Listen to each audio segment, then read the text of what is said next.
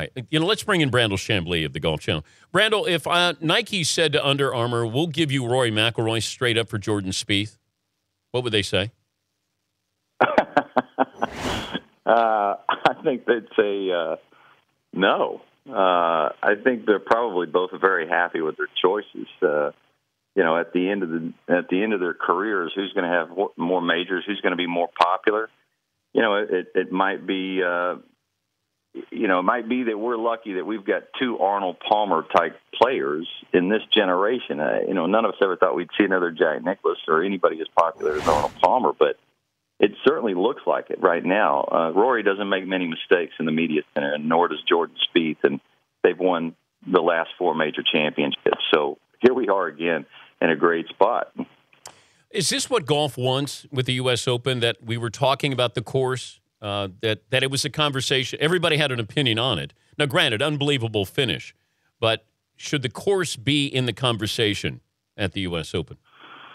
No, I, I mean, other than being beautiful and uh, strategically uh, up to the talents of the players, no, it, it shouldn't be, and nor should the setup be um, dominating the conversation. It should be about the players. Every time we're talking about the course and the setup and the condition, we're not talking about the players. So, uh, you know, I, I know what the USGA is trying to do. They're trying to go to new venues and they're trying to show the world that you can conserve on various things, you know, um, maintenance and water and. But no, the golf course was uh, horrific and it was ugly. And in the end, we said it all week. It could very well boil down to a short putt at the last, which overrides perhaps four of the greatest shots hit in the history of the U.S. Open.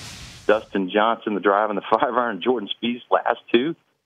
Tell me four greater shots hit on the 18th hole of the U.S. Open, and in the end, you talk about a missed four footer, and nobody can say for sure that he didn't do all that was asked of him on that four footer, and it hit three pieces of poa annua because it certainly it certainly bounced plenty. And you know, I guess we're going to talk about going for an eagle to try to win it outright, or play it safe. what was he trying to play it safe, or was he actually just saying, "Hey, I'm going to go to win this outright instead of take my chances with the playoff today"? Well, unfortunately, he didn't go to the media center, so I guess we'll never know. Uh, or maybe someone will ask him later, um, and and we'll get some closure there. We would have loved to have heard that. Uh, it looked to me like he was trying to cozy it down there, and it just got away from him. Jordan Spieth hit his with dead weight. Dead weight. Uh, he died it right at the hole, and he had to tap in.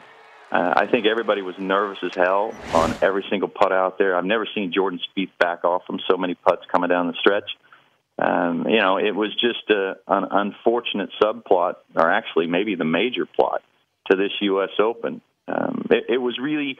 I talked to Jordan's manager, um, a fellow by the name of David Winkle. I talked to him this morning already, and he said that he was he didn't go to the media center because he was. It wasn't that he was angry.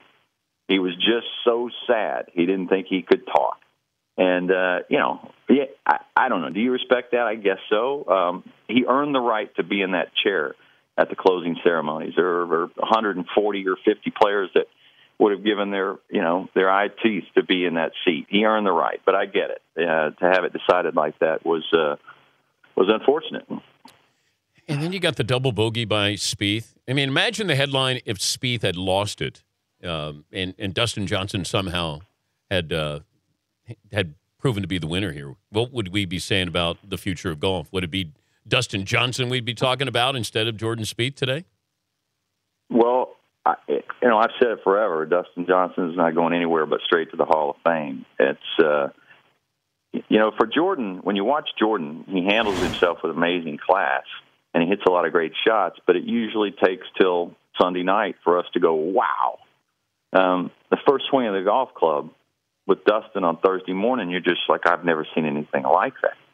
You know, it's different than Tiger, it's different than Phil or Vijay or Ernie. It's just you're just you're just struck by how athletic he makes golf look.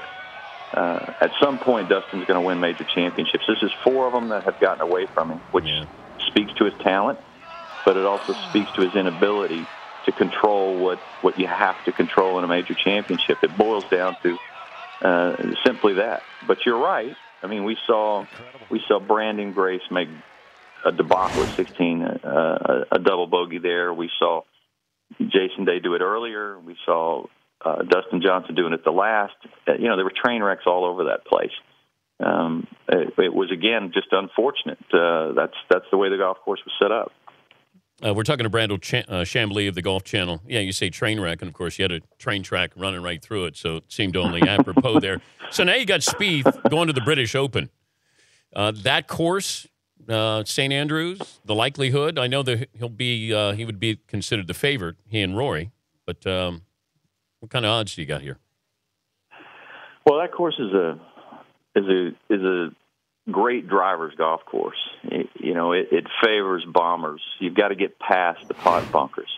Tiger could drive it past the pot bunkers. Louis Oosthuizen, the last time he played there, drove it past the pot bunkers. So did John Daly, and nobody's won this event there besides Louis Oosthuizen, Tiger, and John Daly in the last 20 years. It's it's it's about length off of the tee, uh, and then what you do from there. Jordan Spieth yesterday uh, the last person to drive it that short and win the U.S. Open was Corey Pavin. Oh boy! I'm not. He's he's he's longer than Corey Pavin, yeah. but that's a telling statistic. He was 60, 68 in driving distance and won 75 guys.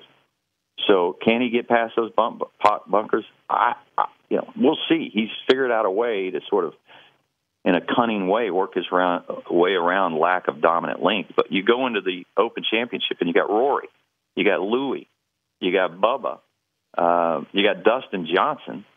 Um, you know, you've got Branden Grace, who just popped up, uh, you know, on the leaderboard. But when you start to look at what he's done at St. Andrews, you, you can't you can't overlook him, and he's got phenomenal length. So I think Jordan's going to have a harder time of it at St. Andrews.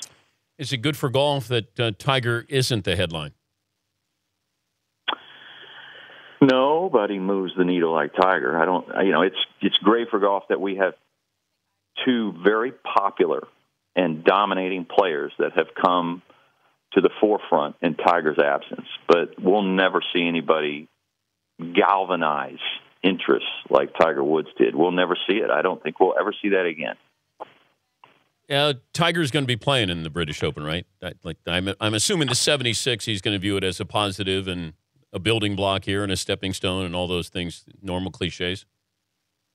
Yeah, yes, he'll be there, of course. Uh, you know, uh, you know whether or not he's got a semblance of a golf game is a, is another question. He made that golf course look easy, but but it's not. You know, you end up in the heather, you end up in the pot bunkers, uh, you end up 90 feet away after you hit it in the heather and the pot bunkers. Um, so, you know, he's. Uh, he's in a rebuilding state, and is he healthy enough mentally and physically to do all that and compete in major championships? I said uh, at the beginning of the year he should go away for a year or for however long until he's at his home club, not thinking about his golf swing and shooting 64 every day, which will pretty much what every tour player is when they're at their home golf club. They're not at home working on their swing shooting 72s and threes and fours. They're shooting 64s and threes. You know when you're ready to go out on tour. And uh, and in the meantime, he's he's cluttering up the field, and uh, and it's it's not fun to watch. Good to talk to you this week. Uh, thank you for your contributions and safe travels back. Well, thank you, Dan. Always nice talking to you. All Talk right. to you later. All right, Brandel Chamblee, Golf Channel.